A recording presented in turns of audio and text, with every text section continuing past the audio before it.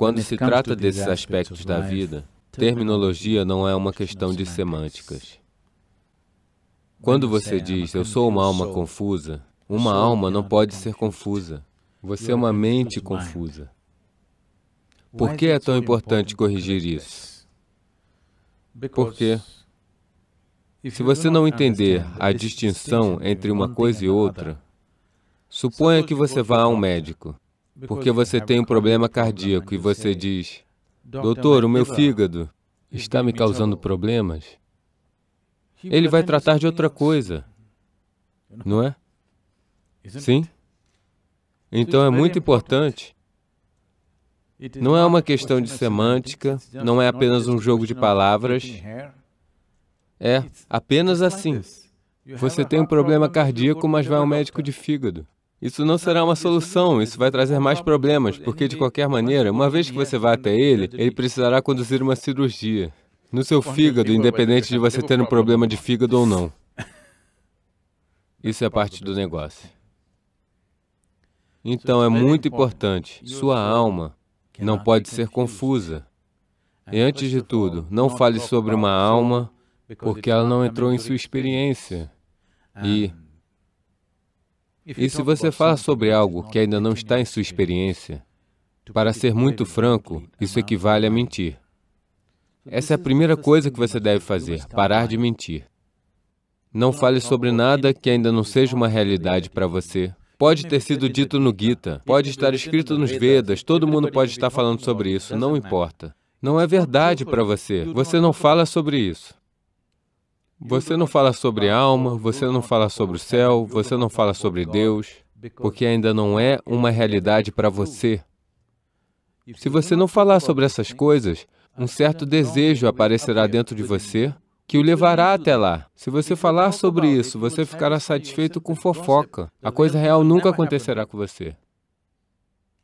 Você ficará satisfeito com fofocas. Fofoca é uma coisa que preenche muito, sabe? Sim? Sim. Muitas pessoas evitam a realidade apenas fofocando. Muitas pessoas evitam a realidade apenas assistindo ao cinema. O cinema é a fofoca de alguém, não é? É a história de alguém. Eu não sou contra, mas estou dizendo que se você estiver usando para melhorar a sua vida, tudo bem. Se você está usando para evitar a sua vida, é um problema sério, não é? E muitas pessoas estão usando-o para evitar a vida. Você não precisa fazer nada em sua vida. Você vai, apenas se senta num quarto escuro, compra um balde de pipoca, Alguém vai amar, alguém vai lutar, alguém vai viver, alguém fará de tudo. Você apenas tem que comer pipoca e acontecerá. Você pode chorar, você pode rir, você pode sair e acabou. E eles te dizem quando termina. Hoje em dia eles não colocam mais fim. Você deve descobrir que acabou. Houve um tempo que eles diziam fim. Caso você não estivesse entendendo, você poderia se sentar para a próxima apresentação.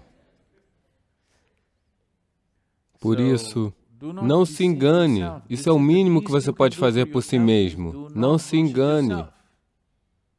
Se você não enganar os outros também, a vida ao seu redor também melhorará fenomenalmente. Mas isso eu vou deixar com você. Ok? Essa é a sua decisão. Mas pelo menos com essa pessoa, seja 100% sincero, sem contrassensos. Você deve fazer isso, porque essa pessoa merece e você a deve isso. Que, pelo menos com esta aqui, eu não sei em que tipo de situações sociais e outras situações você está, se você pode parar de mentir para os outros. Se você fizer isso, você poderá construir uma vida fenomenal ao seu redor também. Se você puder fazer isso ao seu redor, será ótimo, você construirá algo maravilhoso. Se isso não for possível, pelo menos com essa pessoa. Não engane essa pessoa. Pelo menos com essa pessoa, 100% sincero. Isso é simplesmente porque houve um tempo em que essa cultura era uma vibrante atmosfera espiritual. Daqueles tempos, é uma condição muito desgastada agora. Essa vibrante vivacidade espiritual se foi mas o jargão ainda está flutuando por aí. Onde quer que você vá, as pessoas estão falando sobre alma, atma, paramatma, isso, aquilo. O jargão ainda está flutuando por aí em linguagem comum, em atmosferas comuns, embora o fogo tenha desaparecido. Por causa disso, de uma forma, poderia ter sido uma influência positiva, mas também é uma influência negativa porque você está falando das coisas mais elevadas de uma maneira mundana, de modo que as coisas mais elevadas simplesmente vão morrer, falando sobre isso como fofoca. As pessoas vão discutir. Gita na loja de chá, as pessoas vão. Nada de errado com a loja de chá, eu estou dizendo que não é com o foco necessário ou com a santidade que é preciso. Santidade não em termos de elevá-la a algum lugar. Santidade em termos de, se você quiser colocar a mão dentro do leite, você olharia se suas mãos estão limpas, não é? Porque caso contrário, ele ficará ruim. Isso é exatamente assim. Se você quiser colocar as mãos em algo, antes disso, um pouco de cuidado. Caso contrário, você se tornará uma alma confusa, o que é impossível. Mas você acha que é real. Mente confusa, possível. A mente só pode ser confusa. Se alguém tem uma mente clara, ele deve ser um fanático. Você entende? A natureza da mente é confusão. Essa é sua beleza. É sempre confusa porque não consegue decifrar nada. Mas pode agregar tudo e refletir sobre isso infinitamente. Essa é a natureza da sua mente lógica. A mente sempre será confusa, a não ser que você seja um bitolado idiota ou um fanático. Caso contrário, a mente ficará confusa e uma mente confusa é bom. Se você sabe como organizar a sua confusão, se você sabe como lidar com sua confusão, se você sabe como aumentar conscientemente a enormidade de sua confusão, se você pode lidar com sua confusão conscientemente, a mente é um instrumento muito produtivo. Se você está procurando por uma mente que não seja confusa, você pode ir para uma cirurgia no cérebro. Você pode remover metade dele, não haverá confusão. Clara, Quanto mais inteligente você for, mais você vai se questionar, mais você será confuso sobre tudo. Quanto mais profundamente você olha para a vida, mais confuso você será. E isso é bom. Somente alguém que não olha para nada, que tem uma visão paralela, ele está morto de certeza sobre tudo. Então, ou você deve ser um idiota ou um fanático para fazer isso, e não há muita diferença entre os dois. Então, agora, a sua mente está confusa, essa é a natureza da mente. Você precisa aprender a usar a confusão em seu benefício. Se sua mente não está confusa, isso significa que ela não está recebendo constantemente. É uma mente bloqueada. Sua mente se tornou um bloco de concreto que está morta de certeza sobre tudo. Caso contrário, constantemente, se você está percebendo mais e mais informações, ela está sempre confusa, porque pode... está sempre recebendo muito mais do que pode processar. É tanta informação, tudo que você vê, se você vê um pouco mais cuidadosamente. Bem aqui nessa sala você pode ver tantas coisas que você nunca pensou ser possível em sua vida. Se você observar apenas uma coisa, isso acontecerá assim. É só que as pessoas estão vendo assim e elas não veem nada. Se elas prestarem atenção o suficiente a uma coisa, você verá. uma simples formiga pode manter o seu foco pelo resto de sua vida. Tem tanta coisa nela.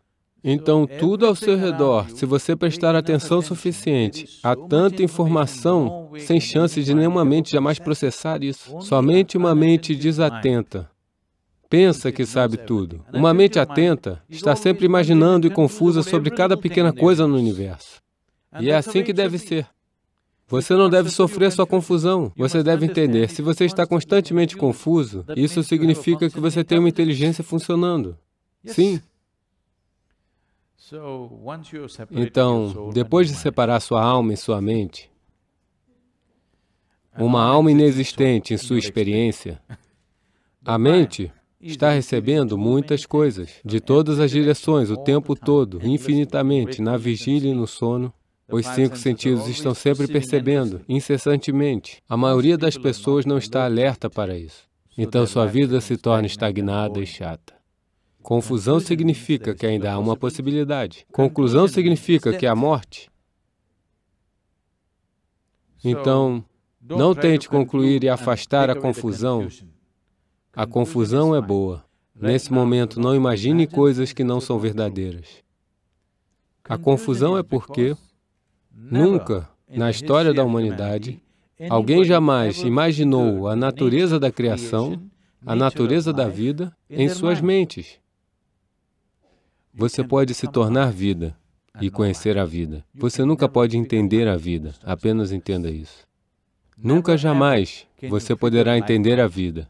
Mas, se você se tornar um absoluto pedaço de vida, você vai conhecer a vida pelo que ela é.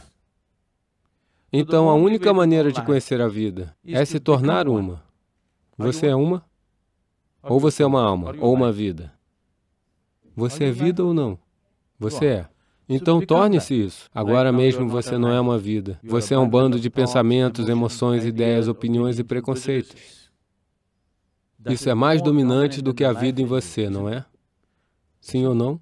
Seu pensamento e sua emoção estão ocupando mais espaço do que a vivacidade que você é.